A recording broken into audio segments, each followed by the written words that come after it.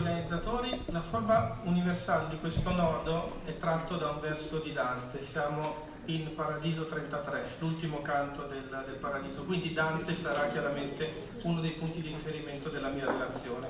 Cominciamo a fare una piccola introduzione teorica, diciamo così.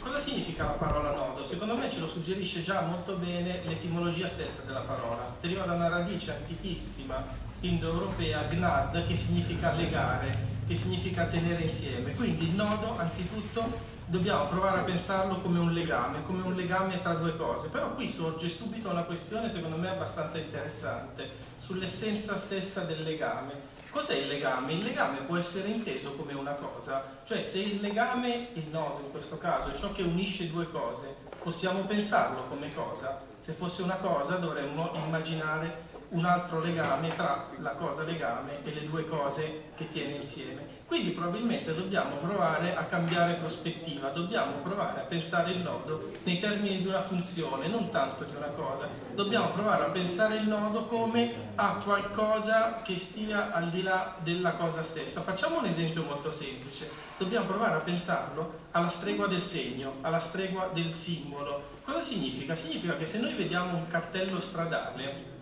noi non ci soffermiamo sulla forma di quel cartello, sulla vernice colorata che sta su quel pezzo di metallo, eccetera, ma subito guardiamo oltre esso e vediamo qualcosa d'altro. Ad esempio, se si tratta di una freccia, vediamo la direzione in cui dobbiamo andare. Nel momento in cui noi vediamo una lettera disegnata, la lettera A, scritta su un foglio, noi non guardiamo la macchia di chiostro che sta su quel pezzo di carta, ma ci viene in mente il suono della parola A. Quindi il segno e, anche il simbolo, perché se pensiamo a un anello posto all'anulare della mano sinistra, lo vediamo come simbolo del matrimonio, dell'amore, di qualcos'altro, quindi rimanda a qualcos'altro.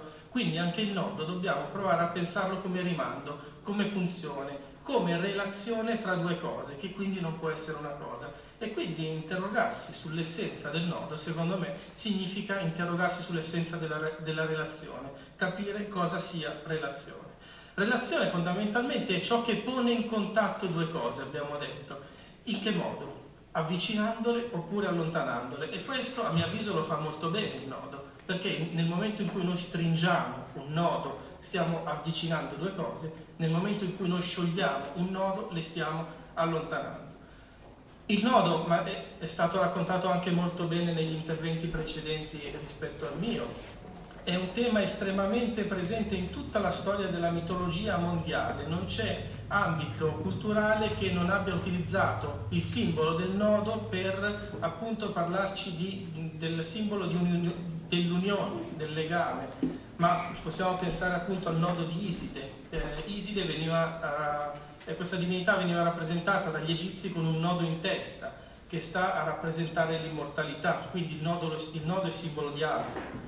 Il nodo di Salomone, ad esempio, è molto importante, dopo lo vediamo perché viene citato da Dante, è eh, considerato ciò che unisce i mortali e i divini, però attenzione, anche in questo caso ciò che unisce i mortali e i divini non è né mortale né divino, uh, sta, uh, è, un, è un time taxu, direbbe Platone, è qualcosa di intermedio, qualcosa che sta in mezzo.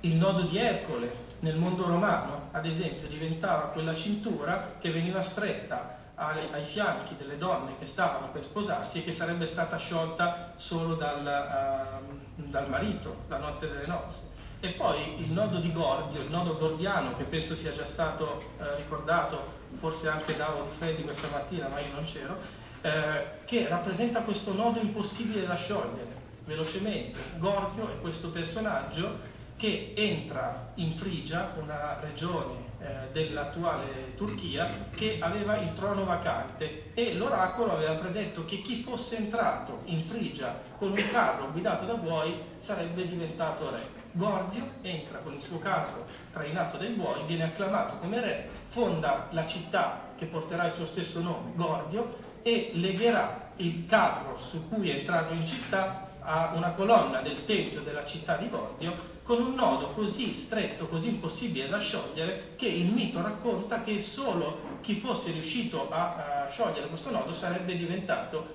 eh, il re, l'imperatore di tutta l'Asia. Passeranno circa quattro secoli e solo Alessandro Magno, nel momento in cui si, recher si recherà a Gordio, cercherà a sua volta di sciogliere questo nodo e non ci riuscirà, troverà una soluzione geniale, lo taglierà con la spada così da far vedere che il nodo nel momento in cui non può essere sciolto può essere tagliato, cioè si rende necessario un cambio di prospettiva. Veniamo adesso alla nostra questione e arriviamo anche a Dante.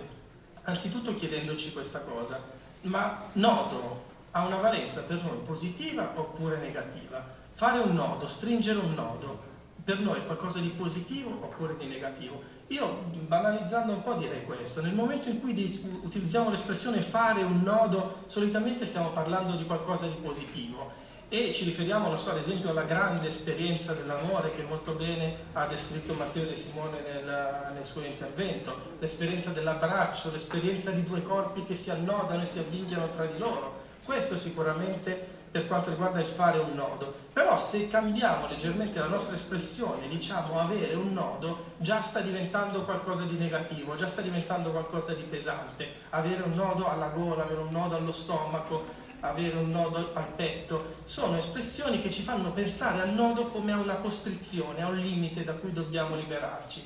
Bene, fatta questa premessa, io vorrei semplicemente arrivare a, a, a, citare alcuni passi di Dante. Perché Dante? Perché Dante nella sua opera, in particolare nella Divina Commedia, ma non solo, ci offre una fenomenologia vastissima della nozione di nodo. Dante all'interno delle sue opere ci spiega, ci mostra eh, una decina direi di modalità in cui noi possiamo intendere il nodo. Io ho cercato di isolarne cinque per semplicità e perché avendo 5 dita riesco a contare fino a 5 mi è più agevole e quindi diventa più agevole per tutti quanti.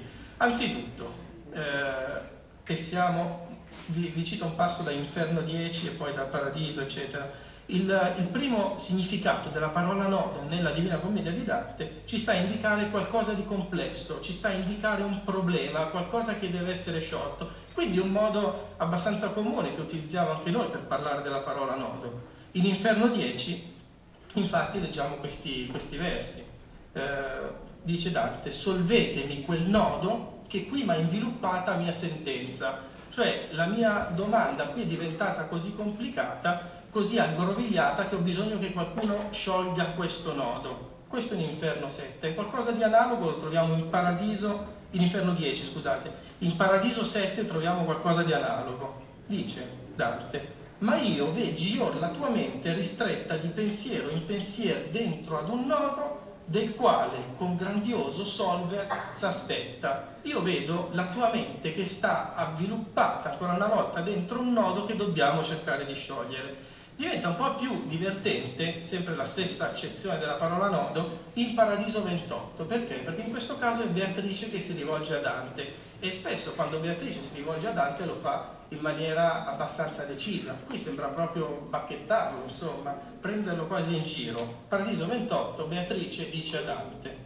se i tuoi diti non sono a tal nodo sufficienti, non è maraviglia. Cioè, se le tue mani non sono in grado di sciogliere questo nodo, io non mi meraviglio. Eh, sembra che lo stia quasi prendendo in giro, poi si salva diciamo in corner perché nel verso successivo Beatrice aggiunge tanto per non tentare è fatto sodo, cioè questo problema una questione teologica riguardo agli angeli, non è stata mai tentata da nessuno e quindi per questo è diventata così difficile. Quindi alla fine salva un po' eh, il nostro Dante. Dante che invece nel momento in cui si rivolge a Beatrice, sempre sulla questione del nodo, lo fa in un modo completamente diverso, cioè vediamo un Dante completamente prostrato davanti alla figura di Beatrice. E veniamo alla seconda accezione della parola nodo.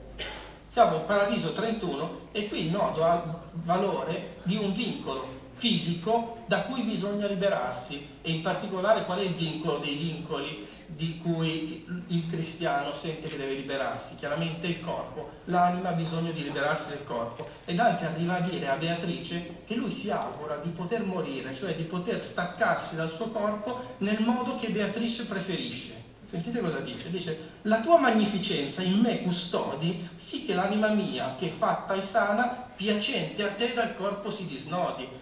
Eh, spero che la mia anima si stacchi dal mio corpo nel modo che a te piaccia di più.